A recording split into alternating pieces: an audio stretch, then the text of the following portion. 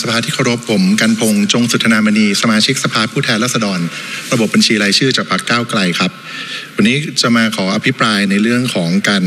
ยกเลิกนะครับคำสั่งคอสช ตามที่มีการบรรจุในยติ ก่อนอื่นครับ เจ้าหน้าที่ขอสไลด์ด้วยนะครับคำสั่งคอสช ที่ผมจะมาลงรายละเอียดในวันนี้ก็คือคำสั่งที่2ทับ2559 ซึ่งผมขอเรียกว่าคำสั่งขยะจากคำสั่งคอสชนะครับ ณะรัฐประหารครับนำโดยคนที่ปัจจุบันเป็นนายกรัฐมนตรี มายืนยันในสภาแห่งนี้หลายครั้งหลายหน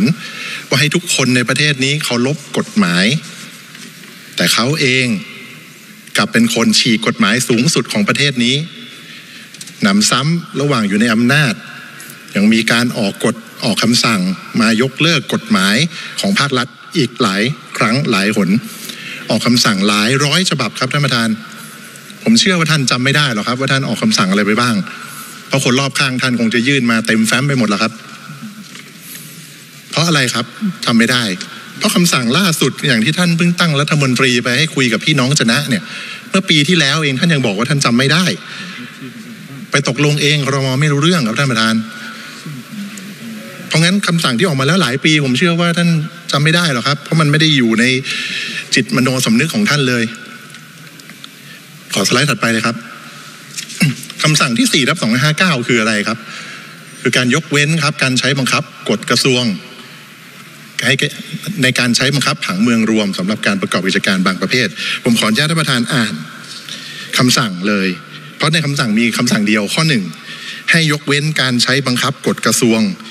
ให้ใช้บังคับผังเมือง รวมตามกฎหมายว่าด้วยการผังเมือง ที่มีผลใช้บังคับอยู่ในวันนี้วันที่มีคำสั่งนี้ หรือที่มีผลบังคับใช้ภายในหนึ่งปี นับแต่วันที่มีคำสั่งนี้สำหรับประกอบกิจการดังนี้ ผมไม่ขอลงรายละเอียดครับท่านประธาน นี่สั่งยกเลิกสำหรับอนาคตด้วยนะครับท่านประธาน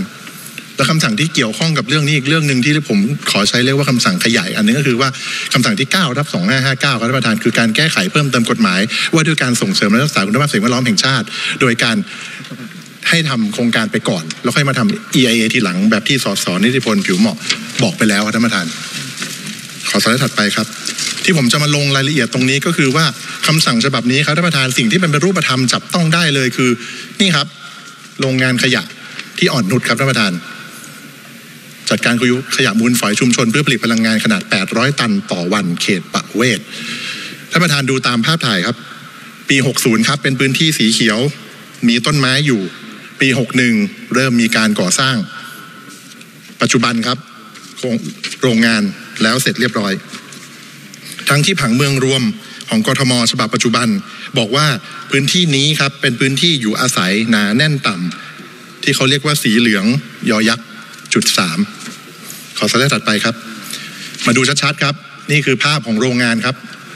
ดูแล้วนะครับ ผมไม่มั่นใจว่าอันนี้มันคือโรงงานขยะ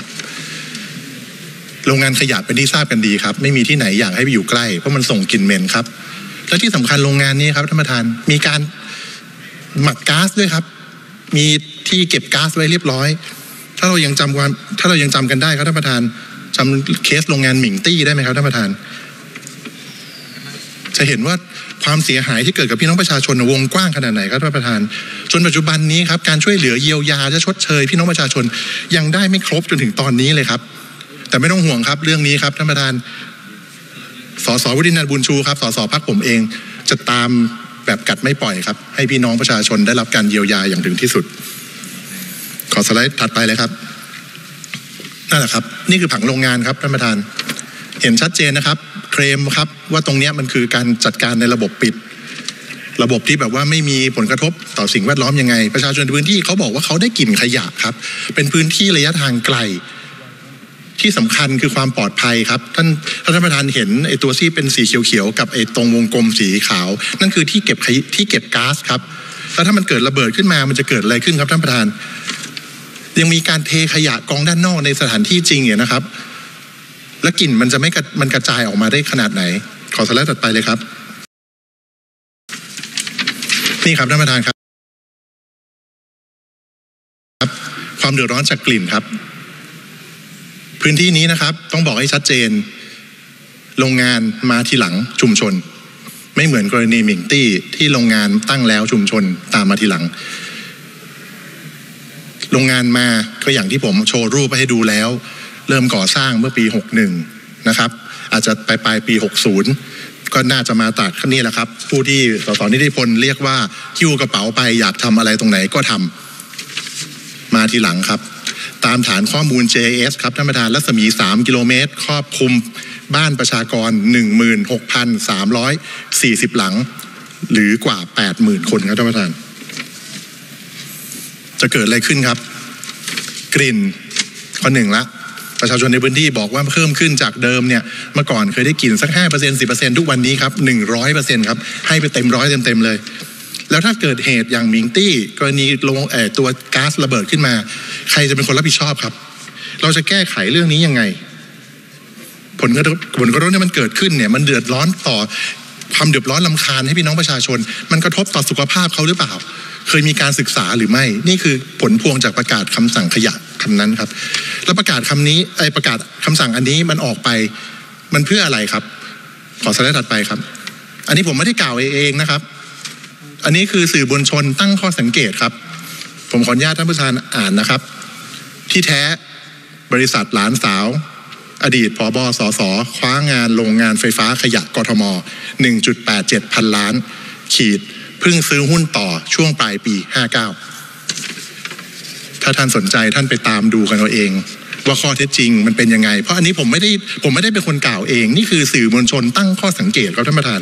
อันนี้คือจึงเป็นเหตุผลครับที่ผมเห็นด้วยกับยตินี้ที่จะดันพรบฉบับนี้ให้ผ่าน แล้วก็เชิญชวนพี่น้องมาร่วมกันจับตานะครับ ว่าผู้แทนราษฎรของท่านที่ท่านเลือกมากับมือ ลงมติยังไง ส่วนตัวผมเห็นด้วยกับพรบฉบับนี้เต็มที่ครับ ขอบพระคุณครับท่านประธานครับ